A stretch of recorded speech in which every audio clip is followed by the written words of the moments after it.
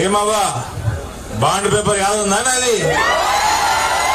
మీరు ఆగురు పిల్లగాళ్ళు మీరు అరే రామా. నేను మా చెల్లెని అడుగుతున్నా ఆగు. ఏమవ్వా బాండ్ పేపర్ యాదుందా నాది? పసుపు బోర్డు బాండ్ పేపరు ఉన్నదా? వచ్చిందా బోర్డు? నేను ఇంకోటి బాండ్ పేపర్ శ్రావణ శ్రావణ నా చెల్లెకి రాసిచ్చిన. టికెట్ టికెట్ ఇప్పిస్తాను కాదు. టికెట్ నా చేతిలో లేదు. నరేంద్ర మోడీ చేతులు ఉన్నది ఎమ్మెల్యేగా అసెంబ్లీలో కూర్చోబెడతాను రాసిచ్చిన. కూర్చోబెడతాను రాసిచ్చిన. మీ అందరూ ఈ ప్రపంచం చూస్తా ఉంటే బీఆర్ఎస్ పార్టీని బొందబెట్టేటట్టే ఉన్నారు. బొందబెట్టేటట్టే ఉన్నారు. వాళ్ళని చూస్తుంటే మహిళల్ని బండకేసి కొట్టేట్టున్నారు కేసీఆర్ ఆ? ఇల్లు లేదు ఆరోగ్య బీమా లేదు పిల్లగాళ్ళకు ఉద్యోగాలు లేవు నిరుద్యోగ వృత్తి లేదు కొత్త పెన్షన్లు లేవు కొత్త రేషన్ కార్డు లేవు. లేవు. లేవు. ఏం లేవు.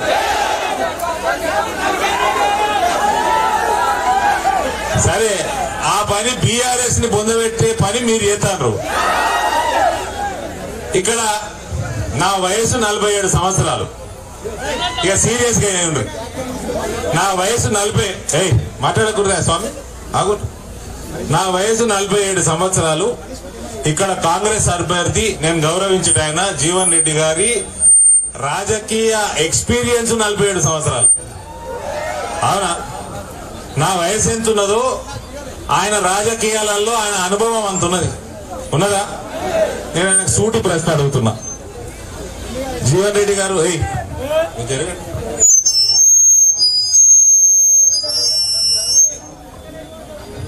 సప్పుడు ఏకండిరా జీవన్ రెడ్డి గారిని నేను సూటి ప్రశ్న అడుగుతున్నా. నేను మీ ముందర పిల్లగాడిని నేను రాజకీయాలలో న్యూ బ్రీడ్ని. కానీ హైబ్రిడ్ని మీరు ఎవ్వరు సపోర్ట్ చేయలేరు. మాట్లాడుతున్నా మాట్లాడేటప్పుడు. ఈడ సీరియస్ ఎలక్షన్ నడుస్తూ ఉన్నది. సీరియస్ విషయం మాట్లాడుతూ ఉన్నా. మీరు ముచ్చట్లు పెట్టదు నేను జీవన్ రెడ్డి గారికి సూటి ప్రశ్న అడుగుతా ఉన్నా. మీ రాజకీయ అనుభవం ఉన్నంత నా వయసు ఉన్నది. ఇవాళ మేము టికెట్లు ఇచ్చినాము. నిజామాబాద్ పార్లమెంట్ లా నిజామాబాద్ పార్లమెంట్ లా ఏడు నియోజకవర్గాలల్లో మూడు రెడ్డి సోదరులకు ఇచ్చినాము మూడు బీసీ అభ్యర్థులకు ఇచ్చినాము ఒక ఆర్యవైశ్యుడికి ఇచ్చినాము. దీన్ని ఏమంటారు? సోషల్ ఇంజనీరింగ్ అంటారు. సామాజిక న్యాయం అంటారు. మీరు ఇంత సీనియర్ నాయకులు మీ పార్టీలా ఇలా ఏడు నియోజకవర్గాలల్లో ఒక్క బీసీ అభ్యర్థి లేడండి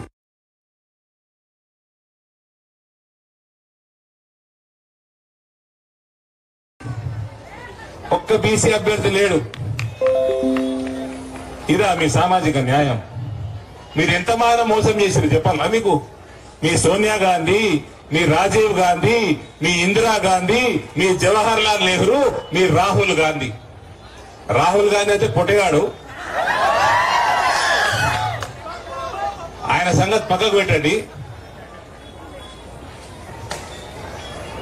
ఒక కొండా లక్ష్మణ్ బాపూజీని మోసం చేసిన ఘనత కాంగ్రెస్ పార్టీ. ఒక మాణిక్రావుని మోసం చేసిన పార్టీ కాంగ్రెస్ పార్టీ. ఒక జగన్నాథరావు ముదిరాజు మాణిక్రావు ముదిరాజు కొండ లక్ష్మణ్ బాపూజీ పద్మశాలి డి శ్రీనివాస్ మున్నూరు కాపు. వీళ్ళందరినీ పచ్చిగా మోసం చేసి గొంతు కోసిన పార్టీ కాంగ్రెస్ పార్టీ. వీళ్ళెవ్వడు ముఖ్యమంత్రికి వనికి రాలే మీకు? వీళ్ళెవ్వడు ముఖ్యమంత్రికి వనికి రాలేదా మీకు చరిత్రలా? డెబ్బై ఐదు సంవత్సరాల భారతదేశం ఉమ్మడి ఆంధ్రప్రదేశ్ తెలంగాణ రాష్ట్రంలో మీకు ఒక్కరు దొరకలేదా బీసీ ముఖ్యమంత్రి? వీళ్ళకంటే ఎక్కువ చదువుకున్నారా? నే మీరు చేసిన ముఖ్యమంత్రులు? ఇవాళ నరేంద్ర మోడీ నిన్న హైదరాబాద్ భాగ్యనగర్ గడ్డ మీదకి చెప్పాడు చెప్పిండు. నాలుగు రోజుల కింద అమిత్ షా చెప్పిండు. మొట్టమొదటిసారిగా స్వాతంత్రం వచ్చినాక తెలంగాణ రాష్ట్రానికి మొట్టమొదటి భారతీయ జనతా పార్టీ ముఖ్యమంత్రి బ్యాక్వర్డ్ క్లాస్ కమ్యూనిటీకి వెళ్ళి వస్తారని ఏడవైంది జీవన్ రెడ్డి గారు మీ పార్టీ సామాజిక న్యాయం? ఉమ్మడి నిజామాబాద్ జిల్లాలో తొమ్మిదిలో ఒక్క బీసీ లేడు. నిజామాబాద్ పార్లమెంట్ ఏడిట్లో ఒక్క బీసీ లేడు. మీ చరిత్రలో బీసీ ముఖ్యమంత్రి కాలే. ఇవాళ ఎవడో కోం కిస్క గుట్టంగాడు వస్తే సోనియా గాంధీ వచ్చి కణవ ప్రియాంక గాంధీ వచ్చి కణవ రాహుల్ గాంధీ వచ్చి కణవ కప్తాడు డి శ్రీనివాస్ అంటే మళ్ళా కాంగ్రెస్ పార్టీ తీసుకోవాలంటే ఎవడు కప్పిండంటే రేవంత్ రెడ్డి అంటే నేను కప్పినా కదా? నువ్వే మొన్న వచ్చినావు కాంగ్రెస్ పార్టీలకి. ఇప్పటికీ చంద్రబాబు నాయుడు చెంచావు నువ్వు. అసలు మీ స్తోమత ఉన్నదా? మీకు మంచి మర్యాద ఉంటే డి శ్రీనివాసిని రెండు వేల నాలుగులో పచ్చి మోసం చేసింది సోనియా గాంధీ. రాజశేఖర్ రెడ్డి అంటే నాకు అభిమానం ఆయనను ముఖ్యమంత్రి చేస్తా అన్నది ఈయనను ఉప ముఖ్యమంత్రిని చేస్తా అన్నది మొత్తం వాడుకున్నది మొత్తం తర్వాత మంచి పోర్టిఫోలియో కూడా ఇయ్యలే. ఆయన రాజకీయ జీవితం నాశనం చేసింది సోనియా గాంధీ. నేను డి శ్రీనివాస్ కొడుకునే చెప్తా ఉన్నా. నేను చూసిన కల్లారా కళ్ళారా చూసిన అది ఏడుస్తుంటే. పచ్చి మోసగత్తే సోనియా గాంధీ. బీసీలను మోసం డెబ్బై ఐదు సంవత్సరాల నుంచి మోసం చేస్తున్నారు కాంగ్రెస్ పార్టీ. ఏడవైంది మీ సామాజిక న్యాయం? ఎక్కడ తీసుకుపోతారు తెలంగాణని? ఇవాళ డి శ్రీనివాసుని మళ్ళీ కాంగ్రెస్ పార్టీలో చేర్చుకోవాలంటే ఏ మీ ప్రియాంక గాంధీ కాళ్ళు పడిపోయినాయా? మా ఇంటికి వచ్చి కడవ కప్పేదుండే. నేను కప్పిస్తుండే దగ్గరుండి. రాహుల్ గాంధీ వచ్చి కడవ కప్పేది ఏ కళ్ళకు కనబడతలేరా మీకు? కళ్ళకు కనబడతలేరు మీకు? ఇవాళ తొమ్మిది నిజామాబాద్ ఉమ్మడి జిల్లా ఈ రెండు పార్లమెంట్ కలిపితే పదకొండు నియోజకవర్గాలలో ఒక్క బీసీ అభ్యర్థి లేడండి వీళ్ళకి ఇది హామీది. ఇదే హామీ న్యాయం. మహిళ ఉండదో లేదు. మహిళ కూడా లేదు. మహిళ కూడా లేదు. ఇవాళ నేను గర్వంగా చెప్తా ఉన్నా. రాజకీయాల్లోకి వచ్చి ఆరేడు సంవత్సరాలు అయింది. నేను ముగ్గురు బీసీ క్యాండిడేట్లకి నా పార్టీకి వెళ్ళి ఇప్పించుకున్నా. నేను ముగ్గురు రెడ్డి సోదరులకి నా పార్టీకి వెళ్ళి ఇప్పించుకున్నా. ఒక ఆర్య వయసులకు ఇప్పించుకున్నా. ఇద్దరు మహిళలకి నా పార్లమెంట్లో సీట్లు ఇప్పించుకున్నా నేను. ఇక్కడ నా చెల్లి దీని తర్వాత నేను పోయే నామినేషన్ నా తల్లి అన్నపూర్ణమ్మ. దీన్ని అంటారు సామాజిక న్యాయం. జీవన్ రెడ్డి అంకుల్ మీ పొట్టిగాడు ఉన్నారు చూసినావా? మీ రాహుల్ గాంధీ. ఆడేంది మన అమేతిలో అదంతే పోయి కేరళలో నిన్న పడ్డాడు అదేది కాన్స్టిట్యూన్సీ పేరేంది వాయనాడుల. ఏడ అమేతిలో ఉత్తర భారతదేశంలో అదంతే దక్షిణ భారతదేశం వయనాడు కన్యాకుమారి ఇక్కడ పడ్డాడు ఆ? వచ్చి మాట్లాడతాడు బీజేపీకి రెండు పర్సెంట్ ఓటు రాదా?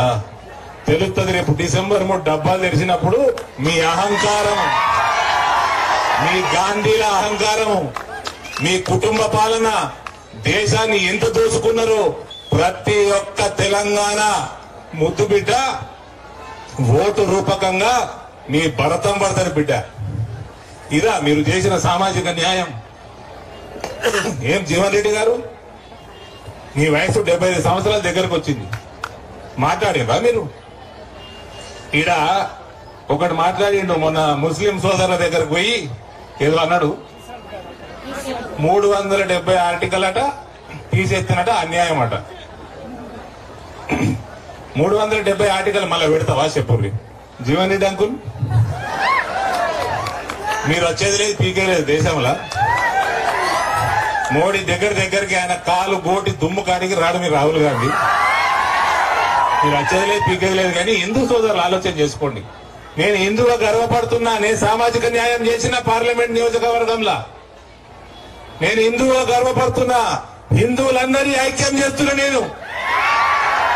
వీలైన వర్గాలన్నిటికీ రాజకీయంగా ఎదుగుతానికి నేను నా ప్రయత్నం చేస్తున్నా.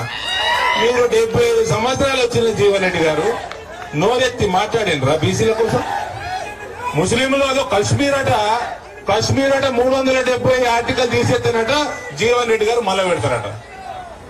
మీకు తిప్పి కొడితే ముప్పై సీట్లు రావు పార్లమెంట్ లా మీరు చేయని పని నరేంద్ర మోడీ ఆగస్టు ఐదు రెండు వేల పంతొమ్మిది నాడు ఆర్టికల్ త్రీ సెవెంటీ తీసి బయట ఏమని అంటే ఈడు వీడొకడు మన ఈ సీఎం కొడుకు పేరు ఏదో ఉన్నది. అంటాడు మేమట మత చిచ్చు పెడతామట.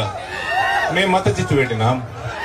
మేము నాలుగు కోట్ల ఇల్లు కట్టినాం మహిళా మహిళా మూర్తులు వినండి మీరు. నాలుగు కోట్ల ఇల్లు కట్టినాం మేము దేశవ్యాప్తంగా. ఒకటి కాదు రెండు కాదు నాలుగు కోట్లు. అందులో డెబ్బై శాతం ఇండ్లు మహిళల పేర్ల మీద రిజిస్టర్ అయినాయి.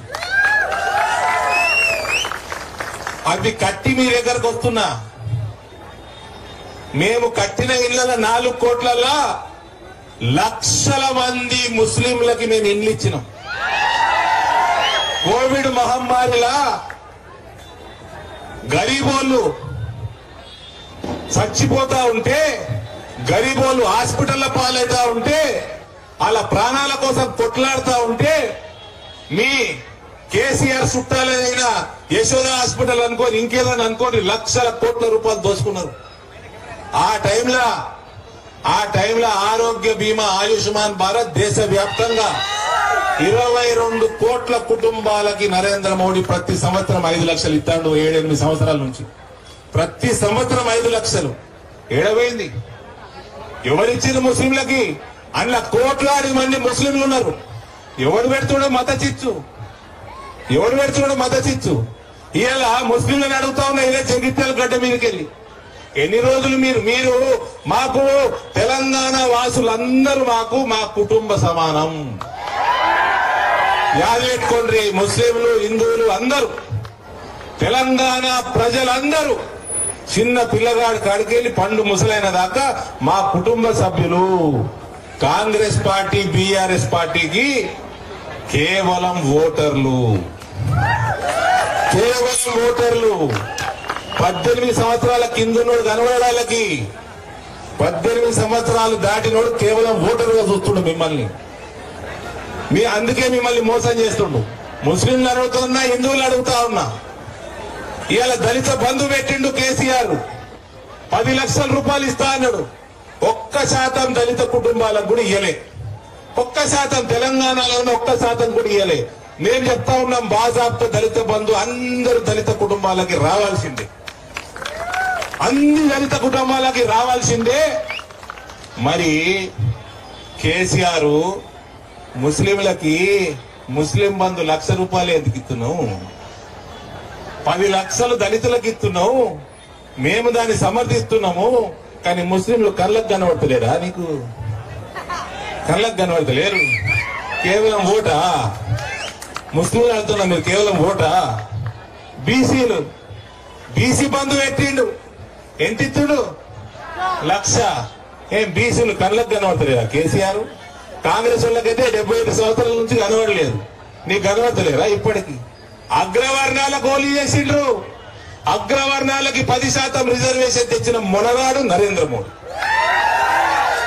ఏం మీడియా మిత్రులు అందరూ ఉన్నారీడ ముస్లింలకు చేసినాము అగ్రవర్ణాలకు చేసినాము బీసీలకు చేసినాము దళితులకి చేస్తున్నాము దళిత రాష్ట్రపతిని చేసినాము ఇప్పుడు గిరిజన మహిళని రాష్ట్రపతిగా చేసినాము అంతకుముందు ముస్లిం రాష్ట్రపతిని చేసినాము కాంగ్రెస్ వాడు టీఆర్ఎస్ వాడు లొటపీస్ చేసిందా ఏం చేసిండ్రు?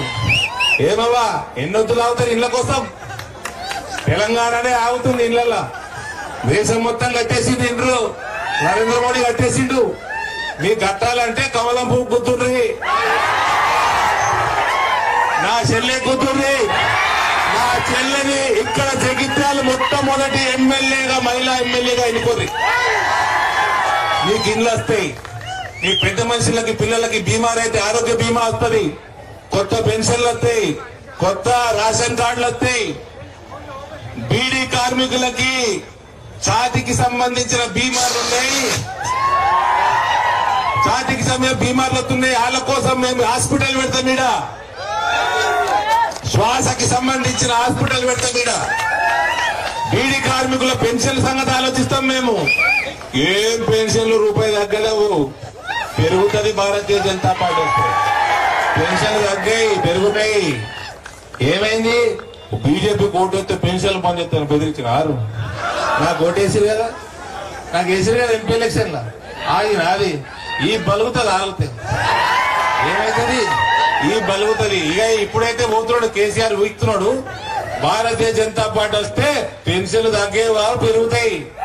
పెన్ను- పెన్షన్లతోటి ఇల్లు ఫ్రీ వస్తాయి ఆరోగ్య బీమా వస్తుంది ఇంకా చాలా వస్తాయి. బీడీ కార్మికులకు వస్తాయి. వాళ్ళకి హాస్పిటల్ వస్తాయి. వాళ్ళకి ఇవో నేను మొన్న గుసగుసలాడుతున్న మోడీ గారితో అమ్మొట్టు నిజం చెప్తూ నేను చెప్తూ నేను నిజంగా. గుసగుసలాడుతూ టీవీలో చూసిరా చూసిరు కదా? ఏం మాట్లాడుతున్నా చెప్పురి ఇక్కడ అడుగుతున్నాడు ఆయన తెలంగాణ ఏందని. రెండు అంశాలు చెప్పిన. సార్ తెలంగాణ చరిత్ర ఎప్పుడు మార్చేది? ఇక్కడ ఎప్పుడు కూడా చేంజ్ తీసుకొచ్చేది? మొత్తం రాజకీయాన్ని అటు ఇటు చేసేది మా మహిళా మూర్తులు అందులో కోట్లాది మంది నా మన నా నియోజకవర్గంనే మూడున్నర లక్షల బీడీ కార్మికులు అని చెప్పిన. తెలంగాణ వ్యాప్తంగా బీడీ కార్మికులు మహిళలు ఎవరైతే ఉన్నారో వాళ్ళే రాజకీయంగా శాసనం చేస్తారు వాళ్ళే డిసైడ్ చేస్తారు ఏ ప్రభుత్వం అని చెప్పిన. ఇదొక మాట చెప్పిన. రెండో మాట ఎన్ఆర్ఐ సోదరులు. వాళ్ళది చాలా గోస పుట్టుబడి.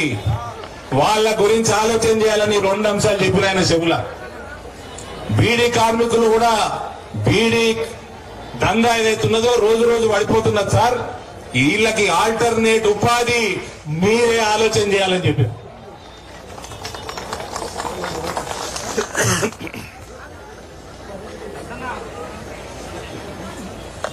మీరే ఆలోచన చేయాలని చెప్పిన. ఆయన తల ఊపిండు ఆయన మెదడులకు ఒకసారి ఎక్కిందా?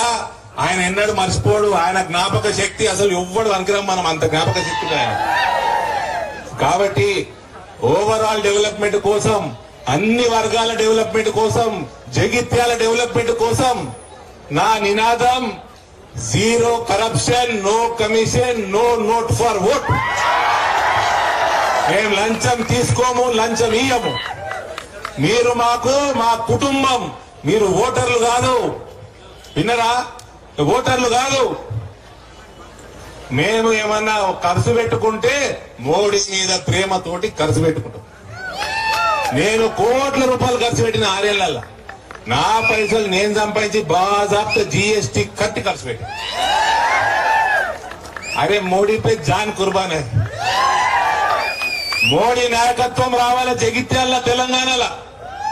మోడీ నాయకత్వం రావాలా? దానికి మీ అందరు అండగా ఉండాలా? ఇక నా చెల్లి నేను మోడీ గారి గురించి చెప్పినాక ఆమె భవిష్యత్తు చాలా ఉజ్వలంగా ఉంది. ఒక్క నిమిషంలో ఆలోచన చేయకుండా ఇక్కడ ఎమ్మెల్యే ఒక పనికి మళ్ళీ డాక్టర్ కూడా ఉన్నాడట ఆ, నీకు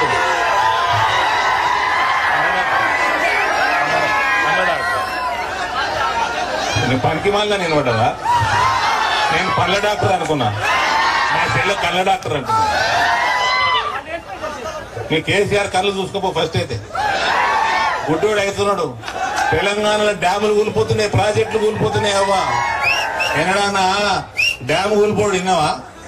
డ్యామ్ కూలిపోడు విన్నావా? కేసీఆర్ కట్టిండు నేనే ఇంజనీర్ అని. మూడు సంవత్సరాల్లో కూలిపోతున్నాయి మూడు డ్యాములు.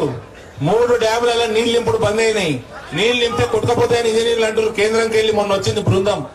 ఎనభై వేల కోట్ల రూపాయలు. దాదాపు లక్ష కోట్ల రూపాయలు ఈ కేసీఆర్ అనే దుర్మార్గుడు నేనే ఇంజనీర్ అనుకుంటా ఏం దిక్కుమాల డిజైన్ చేసిండు డ్యాములు కొట్టుకపోతున్నాయి. ఇదే మనకు కావాల్సిన తెలంగాణ ఇదా బంగారు తెలంగాణ. ఏ ముఖం పెట్టుకొని వస్తున్నాడు టీఆర్ఎస్ మీ దగ్గరికి?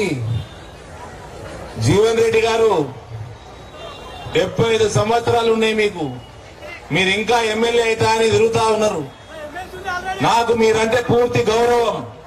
నాకు మీరంటే మీకు కాళ్ళకు దండం పెట్టిన పెద్ద మనిషి పెడితేనే చిన్నప్పటికి వెళ్ళి నన్ను చూస్తా ఉన్నారు మీరు. కానీ అయిపోయిందండి. కానీ అయిపోయింది. ఈ పార్టీ కథమైంది. మీరు కూడా రెస్ట్ తీసుకోవాలా? యువకులకు ఛాన్స్ ఇవ్వాలి. ఎన్నడిస్తారండి బీసీలకు ఛాన్స్ ఇవ్వాలా? ఎన్నడిస్తారు ఇక ఎప్పుడు మీరేనా? ఇక మా నాయన రిటైర్ అయిపోయాడు కదా. మా నాయన మీరు ఒకటే వయసు రిటైర్ అయిపోయాడు కదా. ఇంకెన్నడండి? నేను మీకు గౌరవం ఇస్తా మీ కాలు మొక్తా. కానీ ఇది పద్ధతి కాదు. ఇది సామాజిక న్యాయం కాదు. మీరు మోసం చేసి డెబ్బై ఐదు సంవత్సరాల నుంచి మోసం చేస్తూ పెద్ద పెద్ద వర్గాలను మోసం చేసి. పచ్చి మోసం చేసిండ్రు. ఇదే సోనియా గాంధీ. నేను చెప్తున్నా ఏం చూపించి ఇదే సోనియా గాంధీ డి శ్రీనివాసిని తడి గుడ్డతోటి గొంతు కోసింది ఏమని అంటే రెండు సార్లు పిసిసి ప్రెసిడెంట్ పిసిసి ప్రెసిడెంట్గా వాడుకున్నారు. అందరికి మస్కాలు కొట్టించుకున్నారు. మా నాయన వీళ్ళు కాంగ్రెస్ పార్టీ అంతా ముదురు నా కొడుకులు వాళ్ళకి మస్కాలు కొట్టి కొట్టి రాత్రులు ఏడుస్తుండే. అసలు మోసం చేస్తా. అవును నువ్వు. నీ సంగతి ఏంది? నీ కొడుకు నీ కొడుకు వస్తాడు ఏం మాట్లాడుతాడు వారికి అర్థం కాదు ప్రపంచానికి అర్థం కాదు. అవి పెద్ద జోక్ తయారయ్యాడు. పెద్ద జోకర్ అంటే భారతదేశం మొత్తంలో అన్ని ప్రొఫెషన్స్ లా పాలిటిక్స్ లే కాదు అన్నిట్లా రాహుల్ గాంధీ నెంబర్ వన్ ఆయన కంటే పెద్ద జోకరే లేడు. ఆ, పప్పు అట పప్పు పప్పు గాంధీ. ఆ, ఇట్లా సోనియా గాంధీ గారు ఇట్లా మీరు మోసాలు చేస్తారు కాబట్టి అట్లాంటి పప్పులు పుడతారు మీకు. వినరా? విన్నారా అమ్మా జీవన్ రెడ్డి గారు జవాబులు చెప్పండి. ఇక ఓట్లాడు కూడా కాదు. ఓట్లు మస్తు అడిగారు జగిత్యాల గడ్డ మీకు మస్తు ఆశీర్వాదం ఇచ్చింది. ఏం న్యాయం చేసిరు మీరు? ఏ వర్గానికి ఏం న్యాయం చేసిరు ముస్లింల దగ్గరకు పోయి టోపీ పెట్టి డైలాగులు కొట్టుడు కాదు. డైలాగులు కొట్టుడు కాదు. ఎన్నిళ్ళు ఇల్లు కట్టినావు? ఏం చేసినావు ముస్లింకి డెబ్బై ఐదేళ్ళ చెప్పాలి. కేసీఆర్ కూడా జవాబు చెప్పాలి దళితులకి. దళితులకు పది లక్షలు ఇస్తున్నావు సంతోషం. మేము కా- మేము దాన్ని సపోర్ట్ చేస్తాం కంటిన్యూ చేస్తాం. బీసీలకి మైనారిటీలకి ఏం జవాబు చెప్తావు? తొమ్మిది లక్షల ఎందుకు తక్కిస్తున్నావు దళితులకి మూడు ఎకరాలు ఇస్తాను నువ్వు మూడు ఎకరాలు ఇస్తే నీ పది లక్షలు ఓడవుతాడా నువ్వు తెలంగాణలో మూడు మూడు మూడు ఎకరాలు ఇస్తే ఓడవుతాడా ఇలా కరోనా వస్తే మోడీ గారు కంట తడిపెట్టి నాలుగు సంవత్సరాలు ఫ్రీ రేషన్ ఇచ్చిండు. ఇంకో ఐదు సంవత్సరాలు ఫ్రీ రేషన్ ఇస్తా అని చెప్పి గరీబులు. మాకు మీకు వచ్చే బియ్యం అంతా నరేంద్ర మోడీ ఇస్తున్నాడు. కేసీఆర్ ఏం లేదు రొట్టె పుసుకుడు లేదు. ఏం లేదు. అన్ని తినే తిండి కట్టి కాడికి వెళ్ళి ఉద్యోగాల దాకా ముద్రా లోన్లు స్కిల్ ఇండియా లోన్లు స్టాండప్ ఇండియా లోన్లు. విశ్వకర్మ యోజన అండి. జీవితం లేనండి నిన్నరా? మూడు లక్షలు అప్పు తీసుకొని విశ్వకర్మలు. విశ్వబ్రాహ్మలు అంతా మూడు లక్షలు అప్పు తీసుకోండి. కట్టుండ్రి పది లక్షలు తీసుకోండి ఇంక వాపస్ కట్టుండ్రి ఇరవై ఐదు లక్షలు తీసుకోండి వాపస్ కట్టుండ్రి యాభై లక్షలు తీసుకోండి వాపస్ కట్టుండ్రి ఇంకింత ఎక్క తీసుకోండి మీరు బిజినెస్గా ఎదగండి అని ఒక ఆలోచనతో తీసుకొచ్చిన విశ్వకర్మ యోజన. స్ట్రీట్ వెండర్స్కి ఇట్లా బండ్ల మీద వ్యాపారాలు చేసుకునే వాళ్ళకి ఆధార్ కార్డు ఉంటే చాలు పదివేలు ఇచ్చిండు. వాపస్ కడితే ఇరవై ఐదు వేలు ఇస్తుండు వాపస్ కడితే యాభై వేలు ఇస్తుండు మీరు అంచెలంచెలుగా బిజినెస్ వల్ల ఎదగాలన్న ఆలోచన ఉంటది. ఇలా ఉన్నది ఎవరికైనా కాంగ్రెస్ టీఆర్ఎస్ ఎంతసేపు లూటీ చేసుడు లూటీ చేసుడు? ఈ కాంగ్రెస్ పార్టీ వాడు అయితే తెలుసా అన్న? ఇప్పుడు గొర్రెల మింగటోడు పోయి బర్రెల మింగటోడు వస్తాడు. ఇది కాబట్టి చేతులు జోడించి చేతులు జోడించి ప్రతి ఒక్క వర్గానికి నేను చేతులు జోడించి మీ పాదాభివందనం చేశాడు. నేను కోరుతా ఉన్నా నా చెల్లెలకి నేను మాటిచ్చిన అసెంబ్లీలో కూర్చోబెడతా అని దయచేసి నా